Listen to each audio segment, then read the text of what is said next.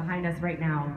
These fashion colors are all the rage right now, and it used to be that trends started in New York and LA, Yeah. and then trickled into Chicago later. By the time all of the colorists are sick of doing ombres, that's when your clients are finally asking for it. So with fashion colors like this, I mean, how can colorists really take advantage of education so they can jump on a trend while it's happening? Because Instagram has made all of these trends more accessible. It's true. You know, I think InstaTrend, everything is there at your fingertips. Your clients live and breathe it. We know that it's right there for us.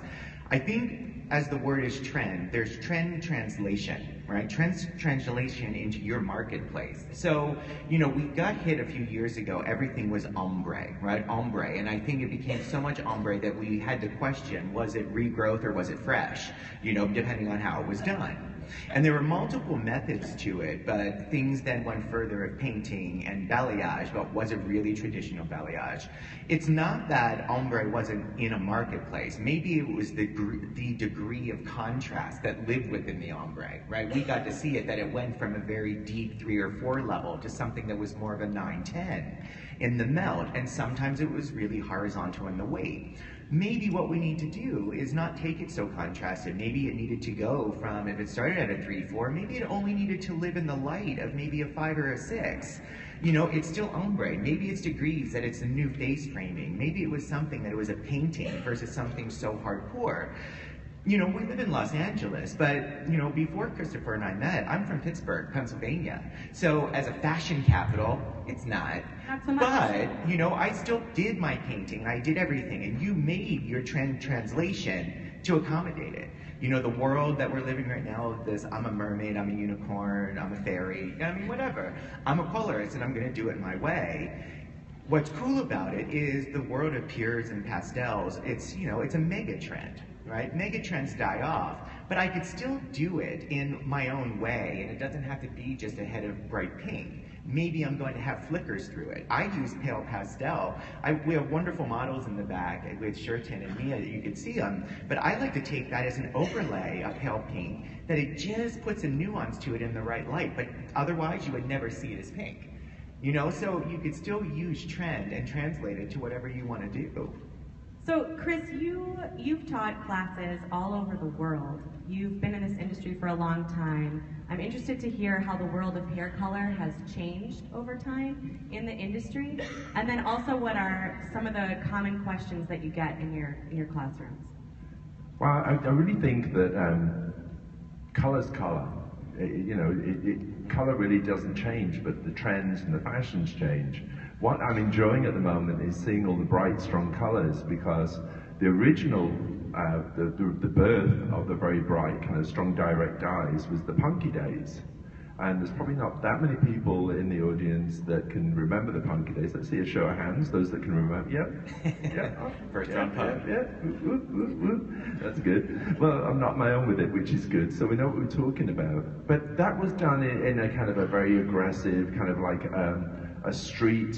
You know, they, they wanted to kind of show their own identity by being this rebellious kind of like bright colored mohawks, shaved sides. But if you think about it, the shaven sides, the bright colors has come back, but the way they've come back in the cycle of fashion is a, a more refined version. I think as colorists, what it's our duty and our job to do is like when someone comes in and wants something that's strong and vibrant, or you recognize in that character that this is a person I could really kind of go to town with. You know, this is someone that I could really kind of create a piece of art with. Is giving ourselves as hairdressers that time to do it because a lot of time in our daily basis we haven't really got time to really do something ultra creative.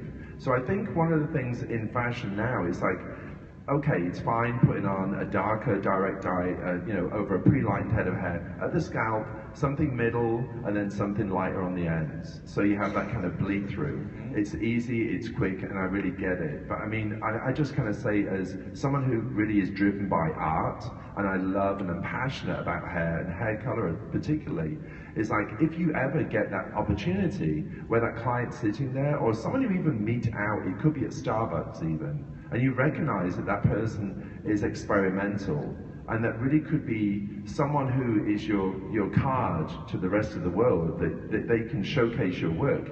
give yourself the time. And it's like giving yourself a gift, you know? Give yourself the time at some point.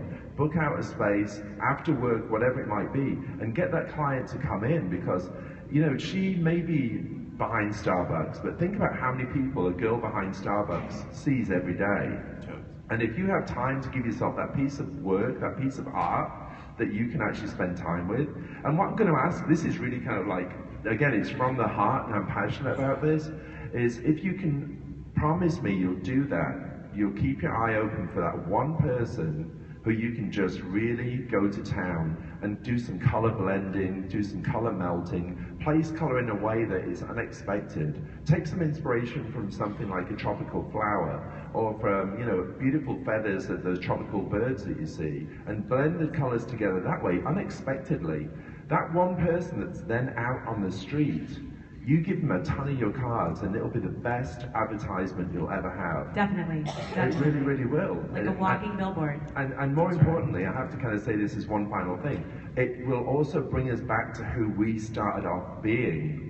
Because if you remember that first day at beauty school when we walked in and we're going to conquer the world, we're going to be, we're going to show them what we're made of because we're artistic and we're creative. And then you can start getting into the kind of the aspect of technical and having to learn all about the chemistry and, and all of a sudden there's rules and regulations that you didn't realize and that little kid isn't there anymore. Right. So giving yourself a chance to be that is the best gift ever. So can I get a promise from everybody in the room that if you get that opportunity, you'll take it? Yeah? Yeah?